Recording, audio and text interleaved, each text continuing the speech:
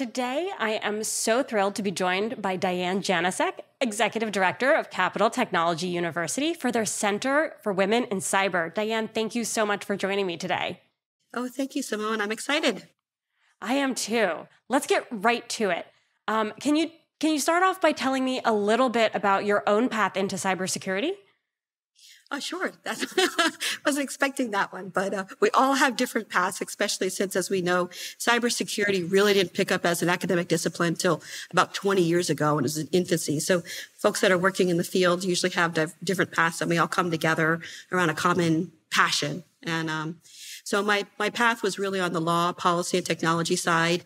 I did a lot of, I went into network security policy and I really appreciated that. I also had to deal with some of the unauthorized disclosures and a lot of our interfaces with the public and um, Capitol Hill in terms of protecting information. And then, of course, the protection of privacy and civil liberties. So those all really synchronize um, and center in the nexus between data governance, civil liberties and privacy, and then cybersecurity and how information security all come together. So I'd like to think that cybersecurity is kind of a nice umbrella because there's multiple things within that um, that are just really exciting and always changing. Yeah, that's amazing. So tell me, how do you think that your own experiences have shaped the way that you think about the cyber talent challenge that we're grappling with as an industry here? That's part of what we like to talk about and highlight so, where does this kind of land for you as we think about how we solve this? How we solve it? That's like the million dollar question. I um, know. Um, so, if you had a dollar for every idea, but I think what we're looking at um, as the challenge, the real challenge is getting the, the country energized, right? You always have to have a sense of urgency that there's an issue that we have to rally around, kind of like the, the World War II, kind of, you know, we can do it and uh, pull together. I usually you have to have that as an impetus before you really get people on board and, you know, get that momentum and get those, get the buy-in. I think we've had that with enough incidences going on, as well as people at their home having their own ring doorbells, you know, compromised and, you know, having their bank accounts constantly having to change out their credit cards, they were compromised. So people are feeling it at a personal level.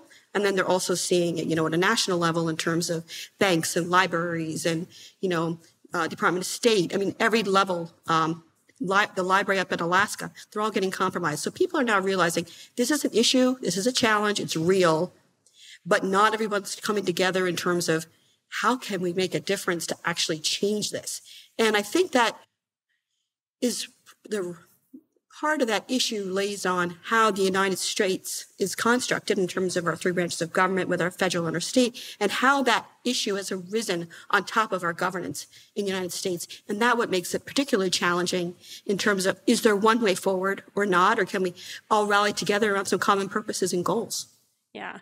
It definitely strikes me when I think about having worked in this space, but also previously in the the more functional side and operational cybersecurity side, that there are a number of really impressive initiatives, whether it be through industry, academia, and government, that are looking to to sort of take on um, this workforce shortage and the talent and skill set shortage we have head on.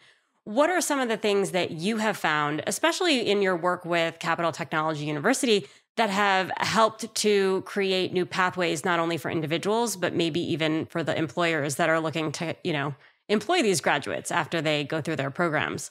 Yeah, great. Thank you for that.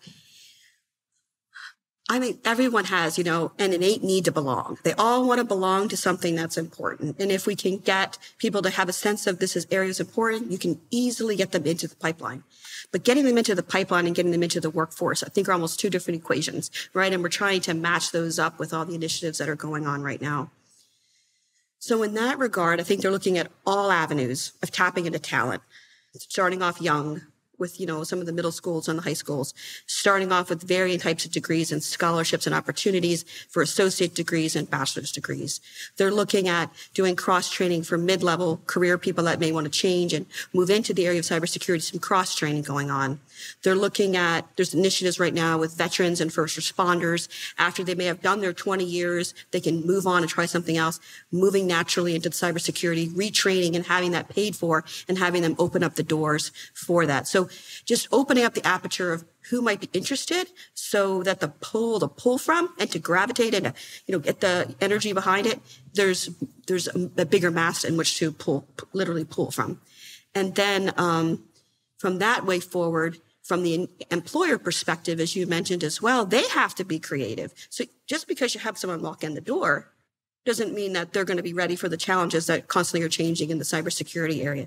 So keeping folks upskilled and current is a whole nother challenge. So this field is just layered with issues in terms of opportunities and challenges that have to get, you know, have to go through it. So that's why I call cybersecurity a team sport because there's so much to get the right person in the chair at the right time to fit, you know, to address the right threat. Yeah.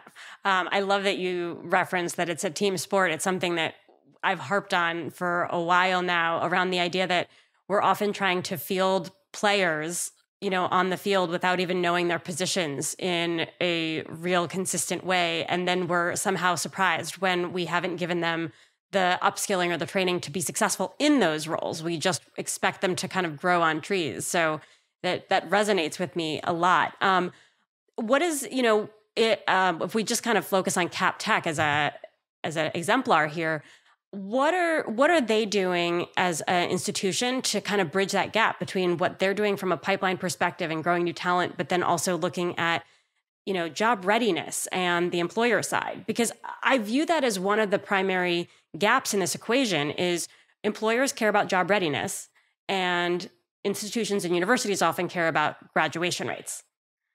Those don't always align. Yeah.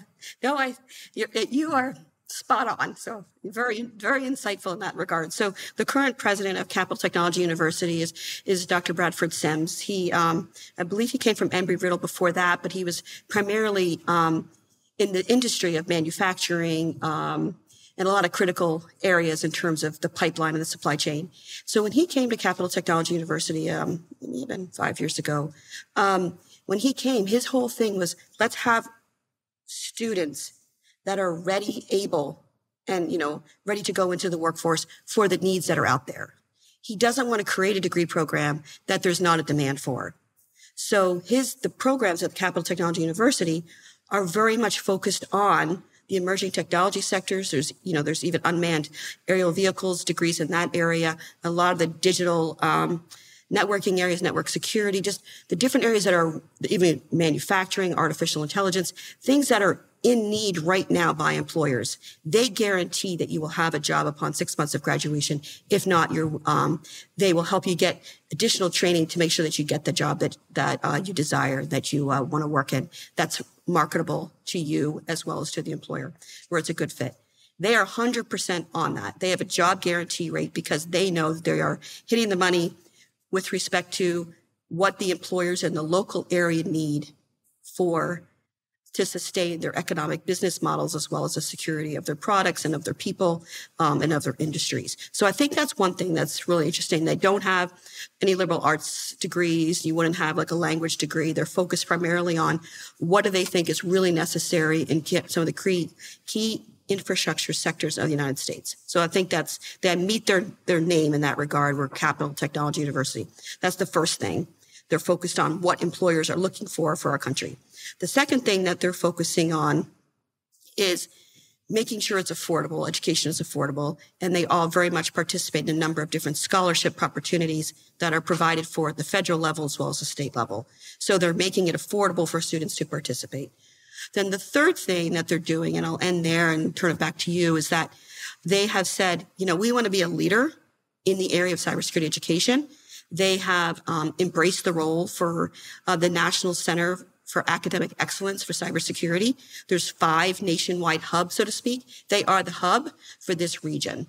Um, and so in that regard, they're saying, hey, we want to help be a leader. We want to help shepherd new um, professors into the space, help mentor them, help get the interest into the area, um, host different opportunities for high school students to come through on Saturdays, um, teachers to come through during the summertime to learn, as well as students to cross train um, in the area from one sector to another. So they're really trying to do a lot. I think that's the three things would be um, you know, appropriate degrees that are necessary for the country, being a leader in cybersecurity education for the nation, and then three, really making cost, uh, making tuition cost effective. Um, and for those who aren't familiar, um, the National Centers for Academic Excellence in Cybersecurity, um, it's been around since 1999 and it has had a significant impact. Can you tell us a little bit about the program and and kind of where it came from and, and how it fits into some of the work that you've been doing there? Yeah, thank you, Simone, for asking that question. So I used to be involved with the program. Um, I've since not been with the Ball program, so this is just Diane's view of the, the world, so to speak now. But uh, the National Centers for Academic Excellence in Cybersecurity, they call it the CAE program. I kind of think of it as a stamp of a perimeter or stamp of approval that you would get, like a housekeeping seal that we saw with CISA coming out with some things these days what they have to do is demonstrate institutions of higher, of higher learning have to demonstrate that they meet core competencies in their curriculum in the area of cybersecurity, uh, in both information assurance, traditional cybersecurity arena, as well as um, some of the research components as well. Now, the small component is cyber operations. So the schools say, "Hey, we believe we have a great school, not only great school, we have great professors. We have students that are um, interested and willing and able to contribute to the field. And what we're teaching them meets that high, high standard of readiness.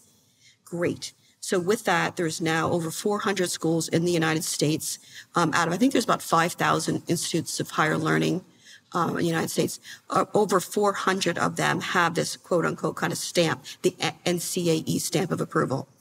And what has been happening is that there was just a study done, as you mentioned, it started in 1999 by just a couple of folks and um, uh, people that may have remembered Dr. Deb Frincke, who was one of the former directors of research at the National Security Agency, is now with uh, one of the one of the national labs. She was at the University of Idaho. She was one of the first schools that was uh, began in 1999, and what it really was doing was establishing um, an opportunity to learn and to grow the cybersecurity, not just the workforce, but the teachers, right? They didn't even have a textbook in 1999. So really growing that curriculum and starting it forward.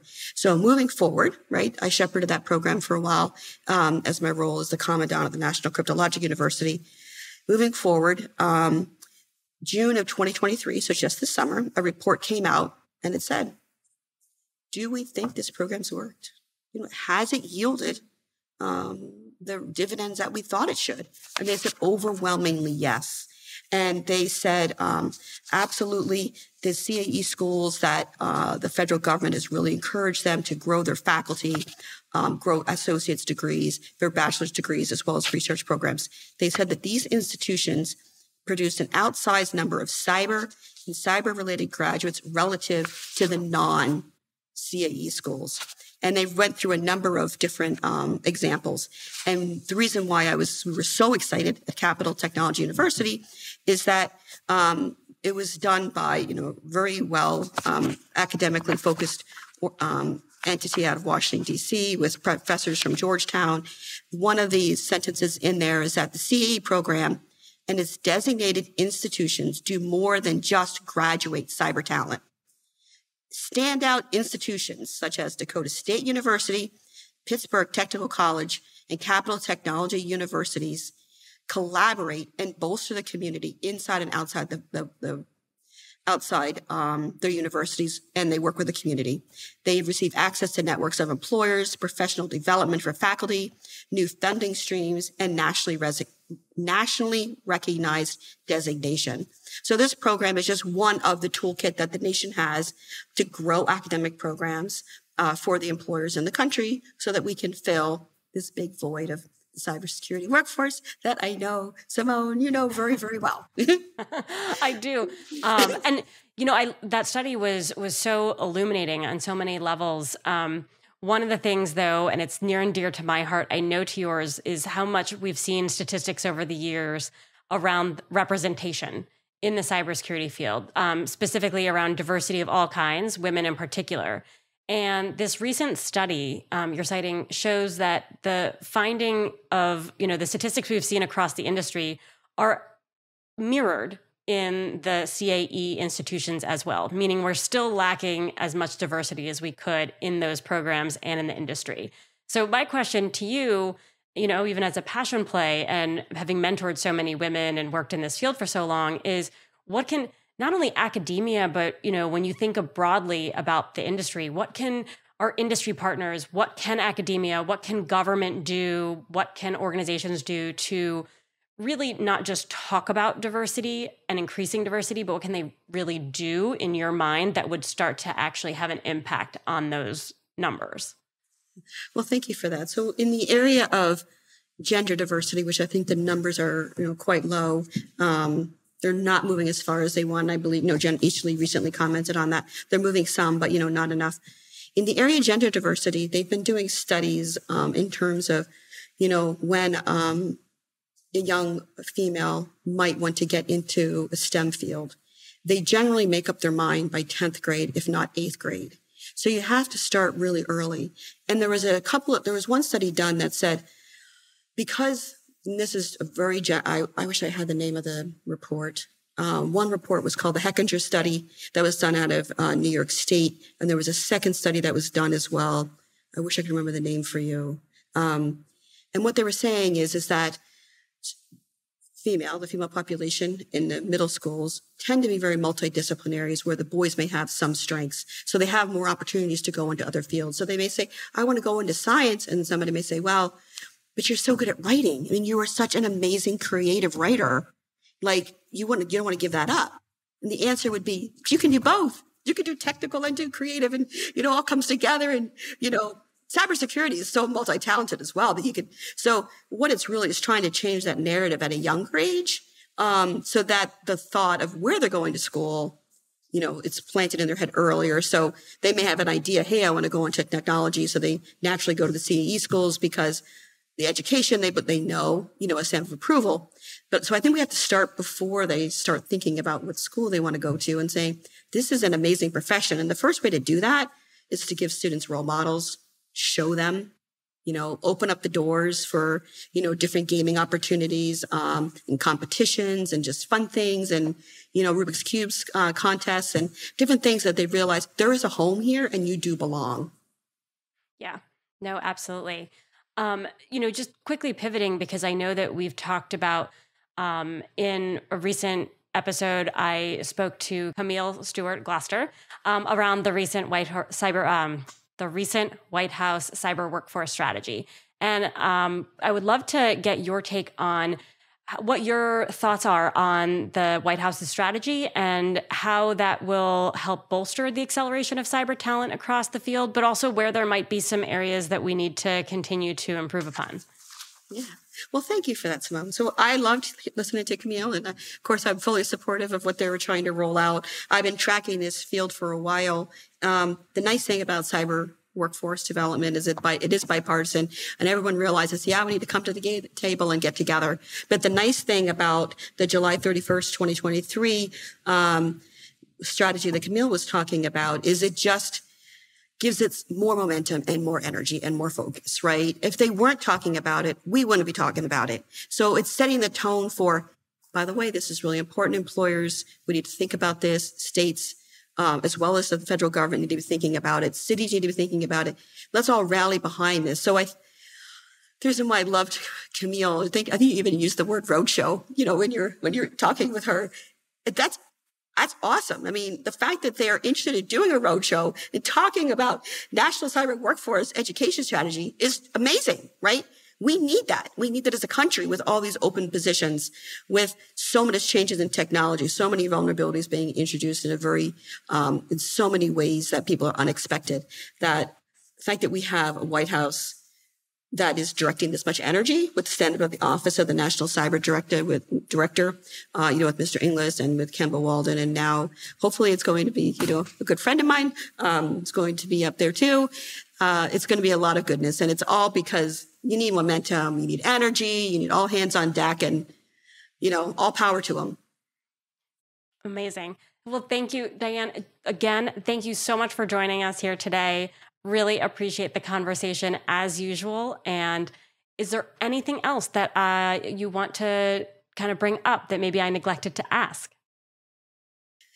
I, I just wanted to mention that I often have people say to me, well, you know, what is cyber about? You know, it, it is really um, an amazing field. It is an incredibly inclusive field. Um, they want to include you. You don't know something. Hey, we'll teach you. They sit side saddle on so many things. There's so many teaming. If you like working with the team, you like learning it's an amazing field to jump into. So it is perfect for all ages, you know, all genders, all nationalities, and it's just fun. And we, are very supportive of each other. So um, join in. Amazing. Thank you so much, Diane. Thank you. Have a great day. Thank you so much for having me.